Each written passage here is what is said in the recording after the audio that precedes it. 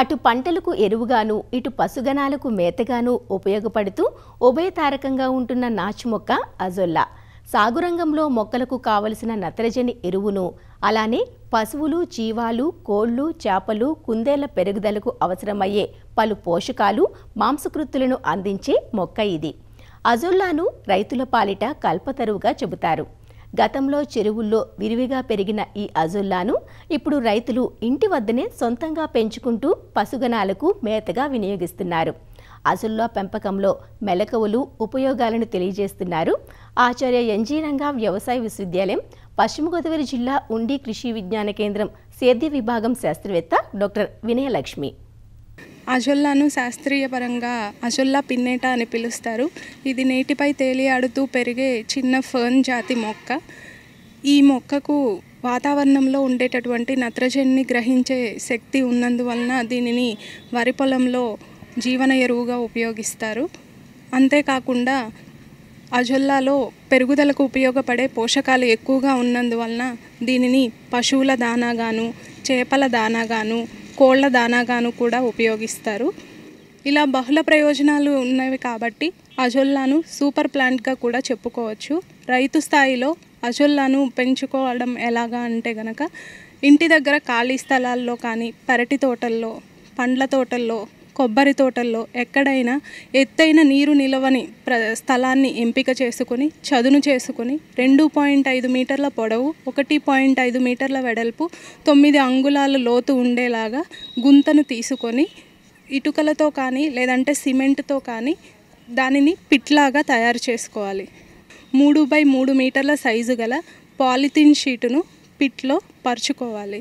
తరువాత రెండు నుంచి ఐదు కేజీల రెండు రోజులు ఆరినటువంటి పేడను మరియు నలభై గ్రాముల సూపర్ పాస్ఫేట్ లేదా రాక్ పాస్ఫేట్ను పది లీటర్ల నీటిలో కలుపుకొని ఈ ద్రావణాన్ని గుంతలో వేసుకోవాలి. తరువాత గుంతకు పది నుంచి పదిహేను సెంటీమీటర్ల వరకు నీటిని నింపుకోవాలి. ఆ తరువాత ఒక కిలో అజొల్లా మదర్ కల్చర్ను గుంతలో నీటిపై తేలియాడేలాగా సమానంగా వేసుకోవాలి. ప్రతి ఏడు రోజులకు ఒకసారి ఈ అజొల్లాకు పది గ్రాముల సూపర్ ఫాస్ఫేట్ మరియు ఐదు వందల గ్రాముల పేడను కలుపుతూ ఉన్నట్లయితే గనక అజొల్లా అనేది బాగా అభివృద్ధి చెందుతుంది. అంతేకాకుండా ప్రతి పది రోజులకు ఒకసారి ఇరవై ఐదు శాతం నీటిని కనుక మారుస్తూ ఉన్నట్లయితే ఆరోగ్యవంతమైన అజొల్లాను మనం పెంచుకోవచ్చు. ఆరు నెలలకు ఒకసారి గుంత మొత్తాన్ని శుభ్రపరిచి మరలా యథావిధిగా పేడ మరియు సూపర్ ఫాస్ఫేట్ ద్రావణాన్ని కలిపివేసి నీటిని నింపుకొని మరలా ఆ గుంతను అజొల్లా వాడకానికి ఉపయోగించుకోవచ్చు. అయితే అజొల్లా పెంపకంలో తీసుకోవాల్సినటువంటి జాగ్రత్తలు ఏమిటి అనగా ఉష్ణోగ్రత అనేది ఇరవై నుంచి ఇరవై ఎనిమిది డిగ్రీల సెంటీగ్రేడ్ ఉండేలాగా చూసుకోవాలి. సూర్యరశ్మి నేరుగా మొక్కపైన పడకుండా పందిరి లేదా షేడ్ నెట్ను ఏర్పాటు చేసుకోవాలి. నీటి యొక్క ఆమ్లత్వం అనేది ఐదు నుంచి ఏడు పాయింట్ ఐదు మధ్యలో ఉండేలాగా చూసుకోవాలి. పెరిగినటువంటి అజొల్లాను ఎప్పటికప్పుడు తీసుకొని ఉపయోగించుకోవాలి. లేనట్లయితే అజొల్లా పెరిగి ఎక్కువై జబ్బులు సోకే అవకాశం ఉంటుంది. జబ్బులు సోకిన గుంతను నీటిగా శుభ్రపరుచుకొని తరువాత మాత్రమే మరలా అజొల్లా పెంపకానికి ఉపయోగించుకోవాలి. అజొల్లా యొక్క ఉపయోగాలు చూసుకున్నట్లయితే కనుక మొదటిగా ఈ అజోల్లాకు వాతావరణంలో ఉండే నత్రజనిని స్థిరీకరించే గుణం ఉంది కాబట్టి వరి పొలాల్లో జీవన ఎరువుగా ఉపయోగిస్తారు.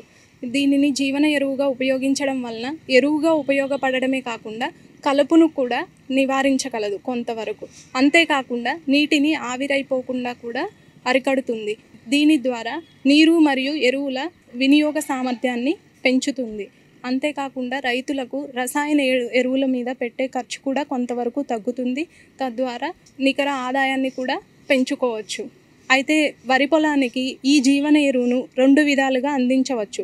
వరి పంట వేసే ముందు అంతేకాకుండా వరి పంట వేసిన తర్వాత కూడా ఉపయోగించవచ్చు. వరి పంట వేసే మూడు వారాల ముందు పొలంలో నీరు నిలగట్టి ఎకరాకు పదిహేను నుంచి ఇరవై కేజీల అజొల్లా మదర్ కల్చర్ను నీటిపై సమానంగా వెదజల్లుకొని అభివృద్ధి పరచాలి. ఇలా అభివృద్ధి చెందిన అజొల్లాను పొలంలో కలియదున్నాలి. రెండవ పద్ధతి వరి పంట వేసిన తరువాత నీరు నిలగట్టి ఎకరాకు పదిహేను నుంచి ఇరవై కేజీల అజొల్లా మదర్ కల్చర్ను వేసి దానిని మూడు నుంచి నాలుగు వారాల పాటు పెరగనిచ్చి తరువాత నీటిని తీసివేసి పొలంలో కలిసేలాగా కూలీలతో తొక్కించాలి. దీని వలన నత్రజని అనేది మొక్కలకు బాగా అంది దిగుబడి అనేది ఎక్కువ అవ్వడానికి అవకాశం ఉంటుంది. అంతేకాకుండా ఈ అజొల్లాలో పెరుగుదలకు ఉపయోగపడేటటువంటి మాంసకృత్తులు ఖనిజ లవణాలు పీచు పదార్థం విటమిన్లు కెరోటినాయిడ్స్ అన్నీ ఎక్కువగా ఉండడం వలన దీనిని పశువుల దానాగాను కూడా ఉపయోగిస్తారు. నీటిలో తేలియాడుతున్న ఈ అజొల్లాను ప్లాస్టిక్ జల్లెడతో బయటికి తీసి రెండు నుంచి మూడు సార్లు మంచినీటితో కడిగినట్లయితే పేడ వాసన కొంతవరకు తగ్గుతుంది. ఎంత కడిగినప్పటికీ ఎంతో కొంత పేడ వాసన ఉంటుంది కాబట్టి జీవాలు ఈ మేతను తీసుకోవడానికి అంతగా ఇష్టపెట్టుకోవు. కాబట్టి ఈ జీవాలకి ఈ అజొల్లాను అలవాటు చేయడం కోసం ముందుగా కొంత దానాలో అజొల్లాను కూడా కలిపి అలవాటు చేసినట్లయితే అలా కొన్ని రోజులు ఆ తరువాత మనం మొత్తంగా అజొల్లాను దానాగా పశువులకు ఉపయోగించవచ్చు. దీని వలన పశువుల పాలలో వెన్న శాతం అనేది పెరగడానికి అవకాశం ఉంటుంది. అంతేకాక దానాకు పెట్టే ఖర్చు కూడా చాలా వరకు తగ్గుతుంది. దాని ద్వారా రైతులు ఆదాయాన్ని ఎక్కువగా పొందడానికి అవకాశం ఉంటుంది.